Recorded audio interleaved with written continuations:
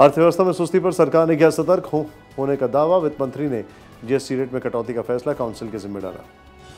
अगले तीन महीनों में केवल उन्नीस फ़ीसदी कंपनियाँ नई हायरिंग करेंगी। एक सर्वे का दावा बावन फ़ीसदी कंपनियाँ नहीं करेंगी भर्ती। मंदी में सोना बना निवेशकों की पहली पसंद अगस्त में गोल्ड ईटीएफ में 145 करोड़ का निवेश।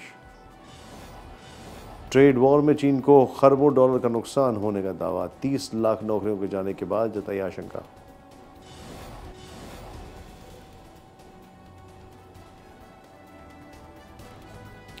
श्रम के मुकुल वाजपेयी ने ई सिगरेट बैन के मुद्दे पर सरकार का समर्थन किया। कहा, निकोटीन डिलीवरी सिस्टम और ई सिगरेट से नुकसान का दावा एकदम सही।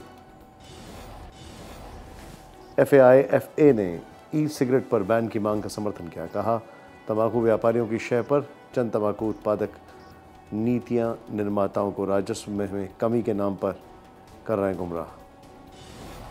हॉर्न ने लॉन्च किया देश का पहला बी एस सिक्स स्कूटर नए एक्टिवा 125 सीसी की कीमत, पहले से 5000 ज़्यादा। अगस्त में सबसे ज़्यादा बिकने वाली टॉप टेन कारों में मारुति की आठ कारें डिज़ायर बनी नंबर वन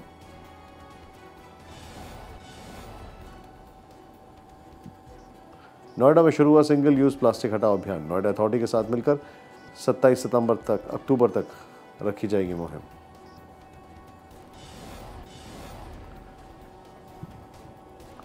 डैनियल जोंग संभालेंगे अब अली बाबा की कमान।